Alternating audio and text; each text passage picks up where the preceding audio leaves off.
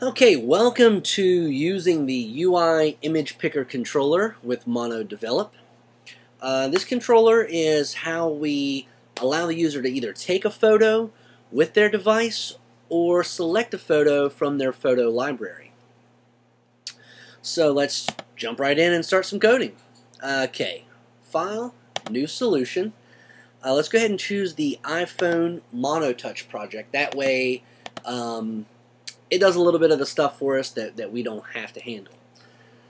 Alright, so I'm just going to call this image picker controller screencast. Hit OK.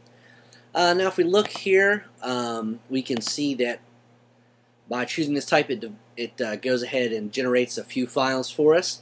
We don't really need to concern ourselves with any of this code except the main.cs, where we'll have to add our view so um, that it can actually be displayed. But we'll do that after we create our view controller. So let's go back up here to the project. Let's right click. Let's go to Add, New File, View Interface Definition with Controller. So I'm just going to um, put my initials and then call it a image picker view controller. Again, generates a few files there for us. Um, let's go ahead and open up the Xib and let's build the user interface in Interface Builder.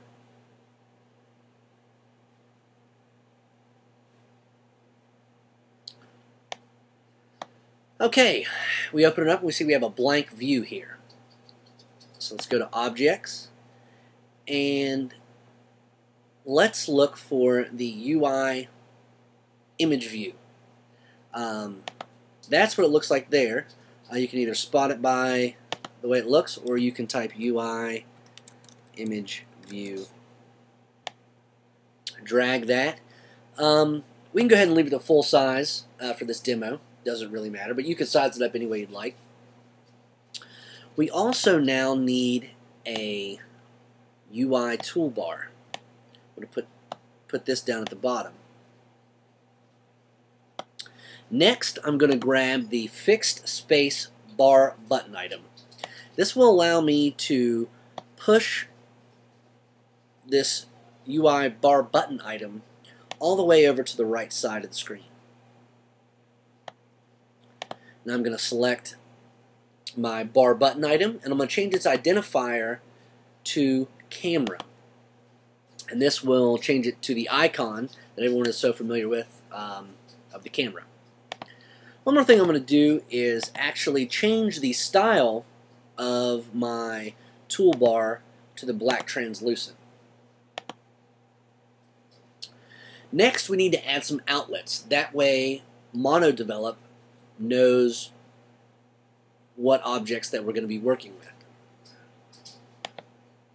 So go back to your library, go to classes, go ahead and find your view controller, go to outlets, scroll on down here. First, let's add an image view, which is the, uh, the type UI image view. Let's add a camera button, which is the UI bar button item. Now, Go back up here to Files Owner, right click, and drag the outlets to the appropriate objects. Now we can save, and we can quit Interface Builder. Now if we look over here in our .designer.cs, we can see that it, by doing those outlets, it generated some code for us. So let's go into our MB image picker view controller code behind. And the first thing, let's add a variable up here for a UI image picker controller. That way, we can actually call the picker and have it displayed. Now, if we want to be able to control um, any of the methods or events for this picker, we're going to have to have our own instance of a UI image picker controlled delegate. So before we get any farther, let's go ahead and create that class.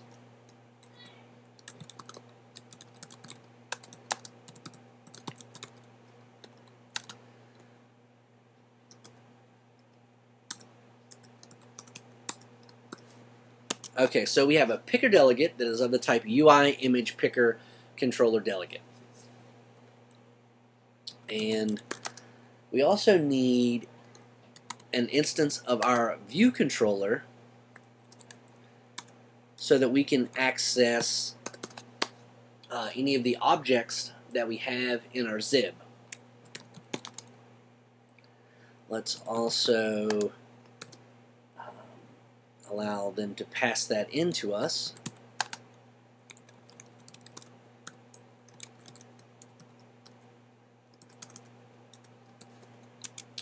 And let's just set our instance of underscore VC equal to the controller that we pass in. Now, there's only one method that we really need to, or one event, excuse me, that we really need to override um, and that is finished picking image.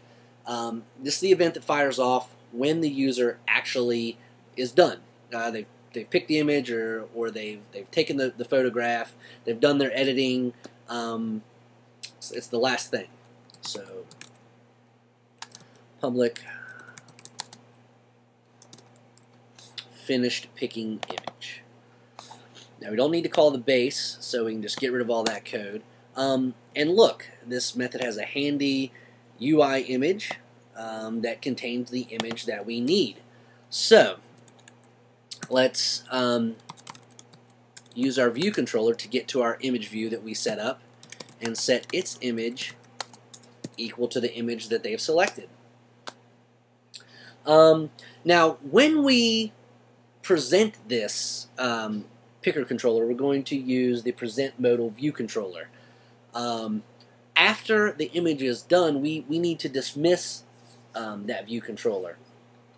So let's do picker dot dismiss modal view controller animated. And love those iPhone animations, so let's say true.